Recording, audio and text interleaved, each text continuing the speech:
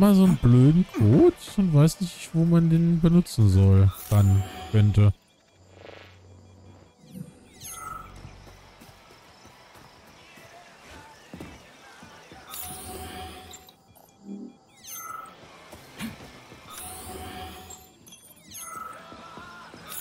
Wird mir jetzt noch nichts als Objekt oder so angezeigt. 550607.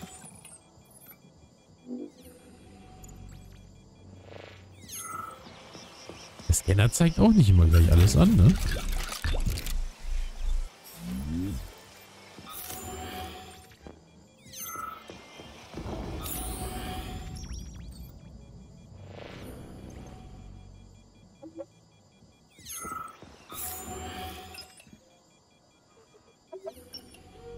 Ah. Vielleicht oben. Ich möchte gern was trinken, hallo?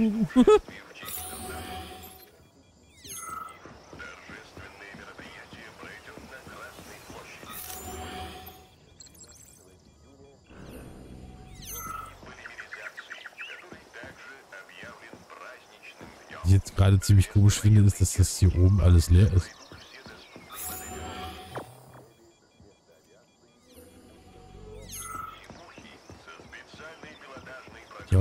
Keine Tönen.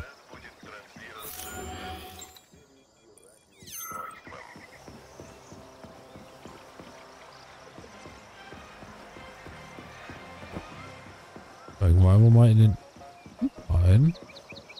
Hi. Ich sehe gerade, dass hier dieses Polymer ist.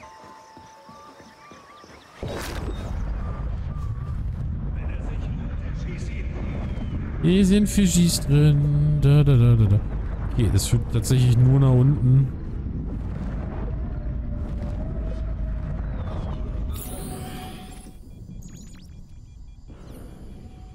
Ja. Hätte ja sein können, dass es uns noch irgendwo anders hinführt, aber so. hm, Ja. Also, dass man die Stimmen hört. Und irgendwie immer Wale. Jetzt, dann steigen wir in den Zug, damit wir ihn noch kriegen.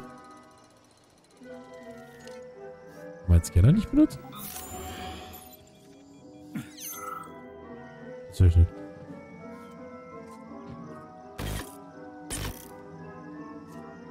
Kann nichts machen gerade.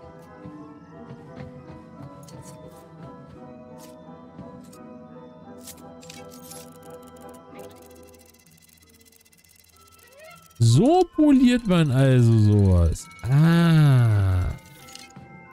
Mensch, ich habe das jahrelang verkehrt gemacht. Sei gegrüßt, Genosse.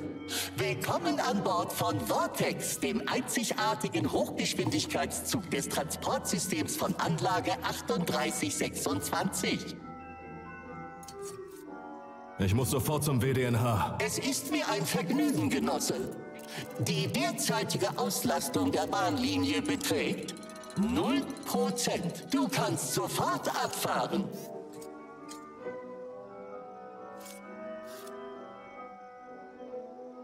Und du bist sicher, dass du nicht durchgedreht bist wie die ganzen anderen Roboter? Du wirst doch nicht den Zug entgleisen lassen, um uns zu töten. Fahrgastsicherheit ist für jedes robotische Fahrzeug von höchster Bedeutung.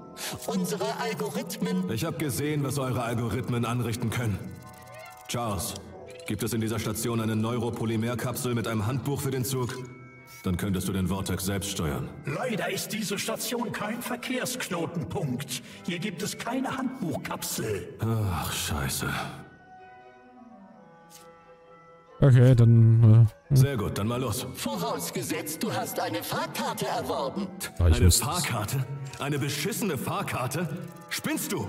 Überall liegen Leichen rum. In der ganzen Anlage gilt ein Notprotokoll. Es startet den beschissenen Zug. Nach sowjetischem Recht haben nur Schwangere und Behinderte Anrecht auf kostenlose Beförderung. Ich entdecke keine Anzeichen einer Schwangerschaft. Lege eine Bescheinigung deines Gynäkologen vor. Ich zeig dir gleich was ganz anderes, du Stück Scheiße. Wenn du eine geistige Behinderung hast, dann lege deinen Behindertenausweis vor. Das war's, du bist tot. Genosse Major, beachte bitte, dass dieser Rafik kein autonomes System ist. Er ist der Hochgeschwindigkeitszug Vortex. Wenn du ihn zerstörst, kann der Zug nicht mehr fahren. Also gut. Hör mal zu, du elender Blechhaufen. Wo kriege ich diese beschissene Fahrkarte her? Du kannst sie am nächsten Fahrkartenschalter erwerben. Es gibt Ermäßigungen für Passagiere, die mit Kindern reisen. Welcher Fahrkartenschalter, du Drecksteil? Alle sind geschlossen. Alle sind tot. Niemand verkauft Fahrkarten. Nach sowjetischem Recht haben nur Schwangere und Behinderte Anrecht auf kostenlose Beförderung. Halt deine Scheißfresse! Wenn das so weitergeht, werde ich den ganzen Weg zum WDNH noch zu Fuß zurücklegen.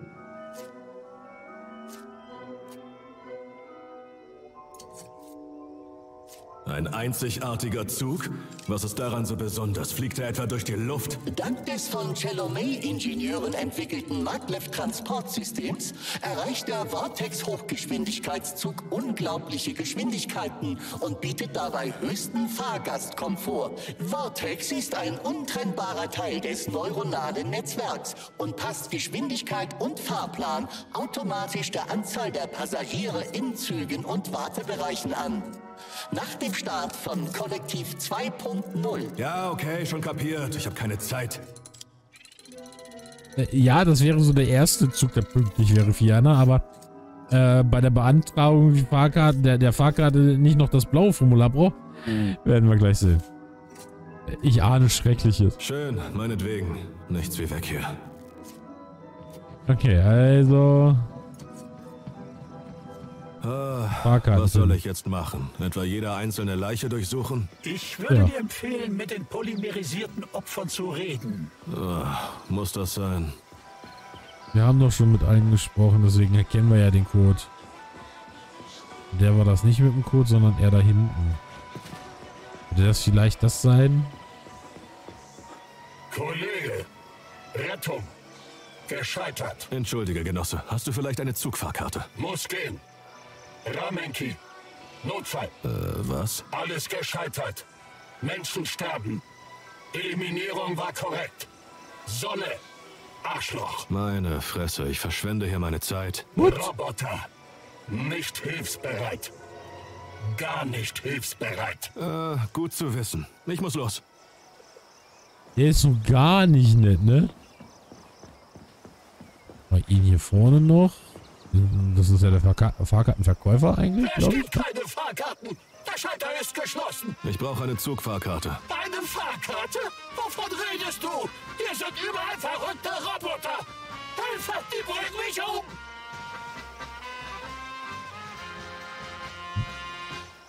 Du wurdest bereits getötet, Mann. Da hilft dir das ganze Geschrei nicht. Ich muss mich Zappelt aber noch ganz schön rum, ne?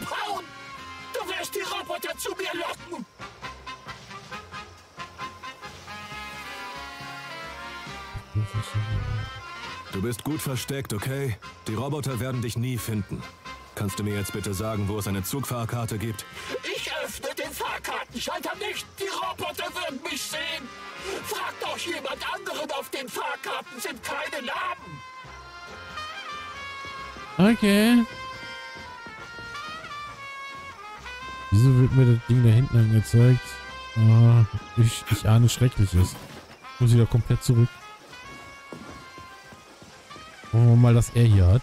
Ich kann nicht. Ich kann diesen Ort einfach nicht verlassen. Hast du vielleicht eine Fahrkarte übrig, Genosse? Eine Fahrkarte? Ja, ich habe eine Fahrkarte, aber sie ist nutzlos, Wieso das?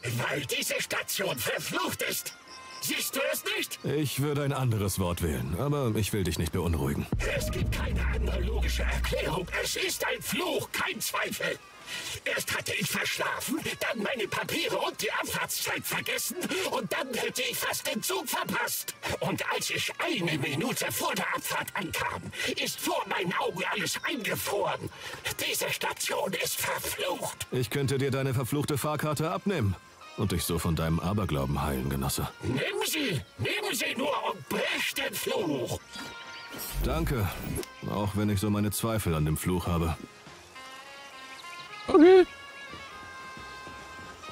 Ja, ich musste nicht ganz zurücklaufen. Bloß wenn man dann in die eine Richtung da äh, gesehen hat. Äh. Jetzt haben wir wenigstens eine Fahrkarte. Also kann Indiana Johnson uns nicht rauswerfen. Schon mal viel wert.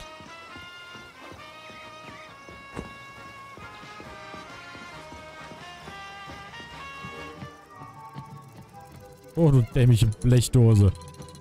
Hab's. Sei gegrüßt, Genosse.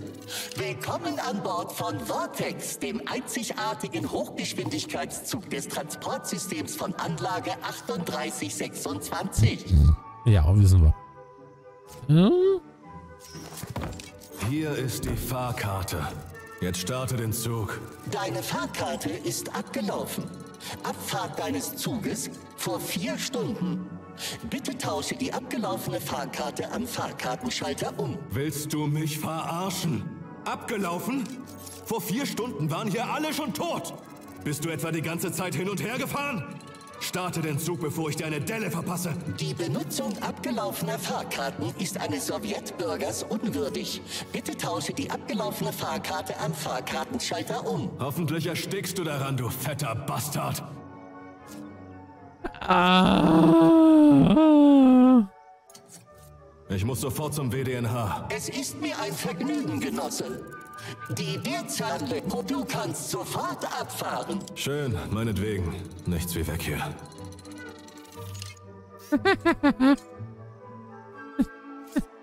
Ich muss doch in die Richtung.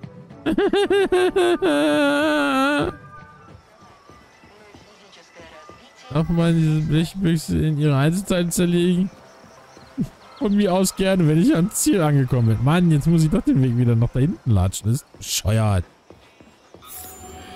Es gibt ja hier sonst nichts. Haben wir hier schon alles abgescannt. Ah, was für ein Scheiß.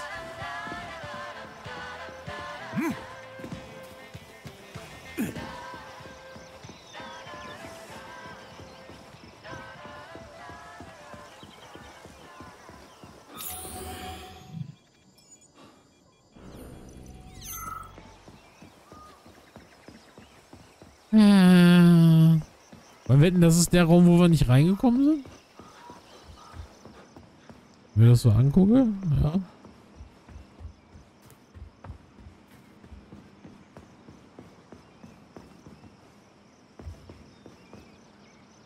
Könnte auch noch der andere Raum sein.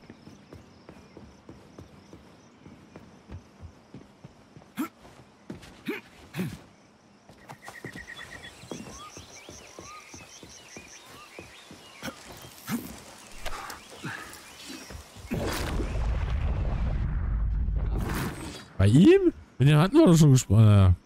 Da wussten wir ja noch nicht, dass wir eine Fahrkarte Kann ich brauchen. deine Zugfahrkarte haben, Genosse? Es ist ein Notfall. Bist du lebendig? Dann hau ab. Du kannst es schaffen. Verlass die Gegend. Kann ich nicht.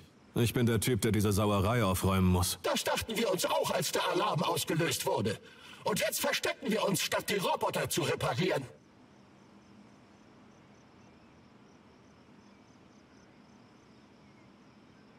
Dann ist deine Fahrkarte wahrscheinlich abgelaufen. Ich habe eine Monatskarte. Ist schon ein Monat vergangen? Wie lange liege ich schon hier? Nein, ein Monat ist noch nicht rum. Kann ich mir deine Monatskarte leihen, Genosse? Du brauchst sie nicht mehr und dieser verdammte Rafik im Zug besteht drauf. Du hast einen Rafik gesehen? Halte dich bloß fern. Rafiks töten dich, wenn du versuchst, mit ihnen zu reden.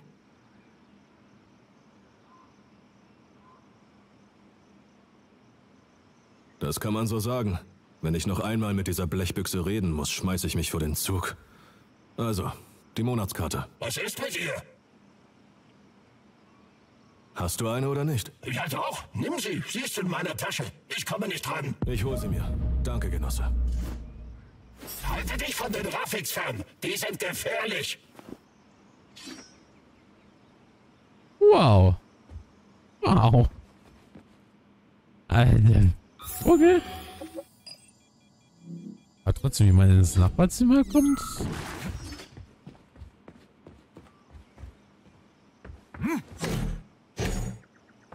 Hä?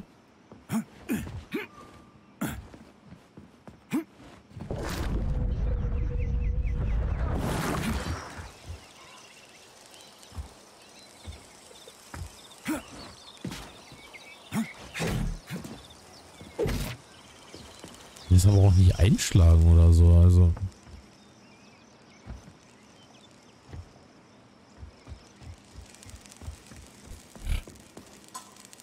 Keine Ahnung. Egal, wir haben das, was, was wir brauchen. Eine Monatsvorkarte. Mann, Mann, Mann, Mann, Mann. Weißt du nicht, dass du den Weg doch nicht laufen musst, ne? Und dann, zack.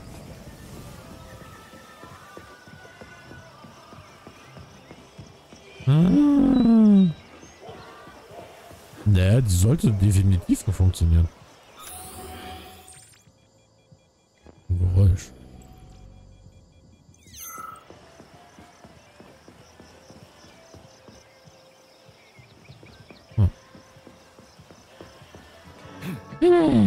Wenn wir, wenn wir an den Bahnhof angekommen sind, äh, Fiana darf sie ihn zerlegen. Sei gegrüßt, Genosse. Ah. Ist diese Fahrkarte in Ordnung? Lässt du mich jetzt fahren, du Blutsauger? Warum hast du mich nicht gleich informiert, dass du über ein Reisedokument verfügst, Genosse? Das könnte die Abfahrt des Zuges beschleunigen. Vielleicht, weil ich es vorher noch nicht hatte. Willst du etwa sagen, dass dies nicht deine Fahrkarte ist? Die Fahrkarte von jemand anderem zu benutzen, ist eines Sowjetbürgers unwürdig. Was hast du da gesagt? Keine Sorge. Nach Analyse der Situation bin ich zu dem Schluss gekommen, dass du ein Ordnungshüter bist, der eine Notlage untersucht. In Anbetracht der derzeitigen Umstände darfst du natürlich kostenlos reisen. Alter. Ist das dein Ernst? Bitte wähle einen beliebigen Platz. Abfahrt des Zuges in 10 Sekunden. Wow, wir haben soeben ein wahres Wunder der Wissenschaft erlebt. Der Zug fährt jetzt ab. Nächster Halt, Solnitschnaya, Station. Nein, du kannst gerne jetzt schon anfangen. Nein, das ist... Charles? Professor Sacharovs Tod ist für mich eine klare Sache.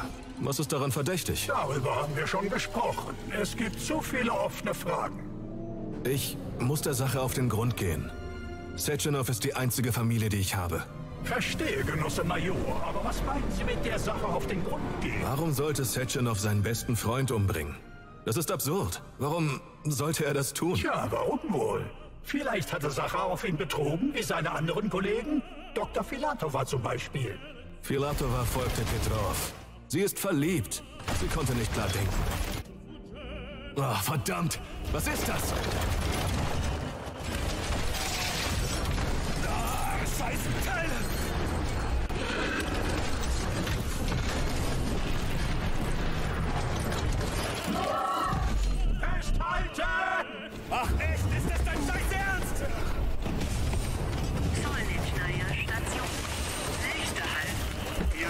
Äh, Fiana, ich glaube, das mit dem Zerlegen war doch ein bisschen zu früh.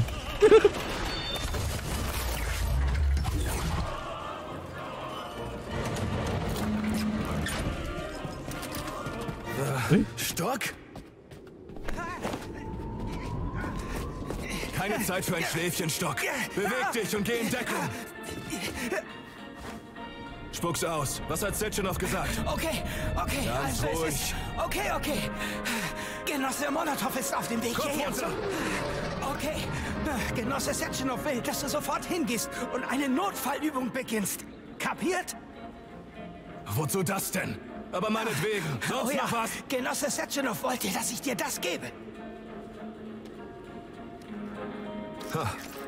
Könnte noch nützlich Ein sein. Soldat, Agent P3. Du musst mir Deckung geben. Was hast du vor? Also gib mir Deckung. Ha?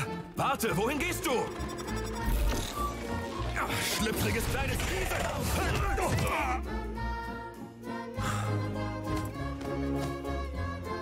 Arsch.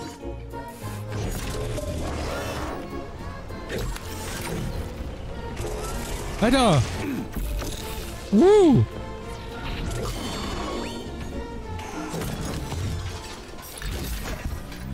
Wirklich schön hier. Hast, Genau du hast nur ganz Moskau. leicht geschubst. sogar Mhm. noch besser. Futuristischer, großzügiger. Mein Konzept. Dein was? Falsch ausgedrückt. Ich meinte, dass mir diese Art von Konzept gefällt. Naja, sein Konzept. Ziemlich komisch. In Anlage 3826 befinden sich viele geheime Testgelände, in denen du eine Vielzahl an Bauplänen für die Verbesserung deines Arsenals findest. Jetzt können wir endlich anfangen, die Sachen zu sammeln. Eingänge zu den Testgeländen sind auf der Karte mit einem Fragezeichen markiert. Außerdem kann dir der Nora-Fabrikator die ungefähre Position eines Testgeländes mit den von dir benötigten Bauplänen verraten, wissen wir schon. Wähle die gewünschte Verbesserung und drücke dann auf M, um die Karte zu öffnen, auf der dir die ungefähre Position des Testgeländes mit dieser Verbesserung angezeigt wird. Ja, das wussten wir auch schon. Sieht schick aus. War hier so ein Fotomodus? Nee. Nicht doof. Daran haben sie nicht gedacht, ne?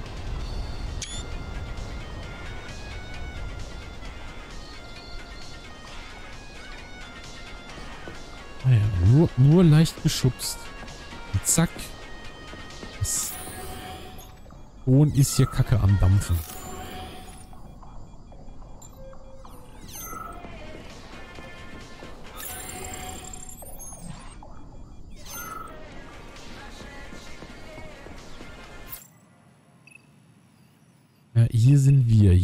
Das Gelände 1.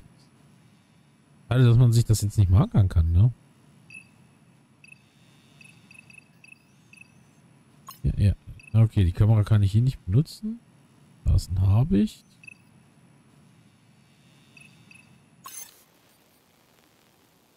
Ui.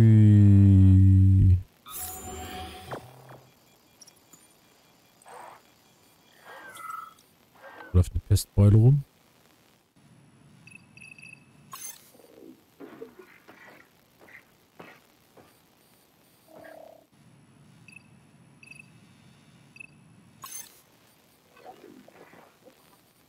Also, dass man so nicht äh, durchklicken kann.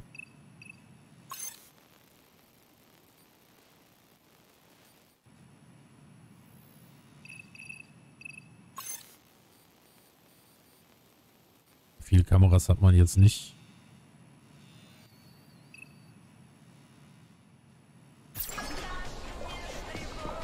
Aber das wäre dann also Testgelände 1, ja.